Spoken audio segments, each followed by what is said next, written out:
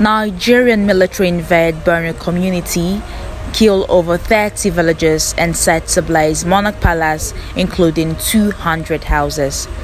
Nigerian army killing and burning down houses at Konshisha local government area at Sheftev.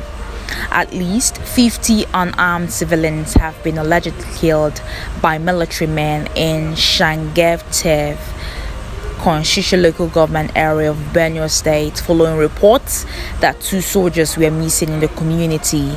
Multiple sources told Sahara reporters on Thursday. Sahara reporters gathered that the soldiers went missing during a routine patrol in the community days after a communal crisis between towns in Konshisha and local government areas. According to reports, three soldiers were initially missing, but one of them was later found. It was learned that troops of the Operation Whirl-Stroke on Wednesday and Thursday morning invaded the community. The oppression, which involved deployment of military helicopters using missile launchers, also left scores of unarmed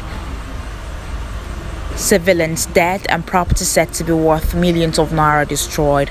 About 200 houses, including the palace of Tyoor Unaha Kôkô in, Agidian, several cars and village, which is now deserted, were also set ablaze by the soldiers. Thank you for watching. Please do not forget to hit the subscribe button.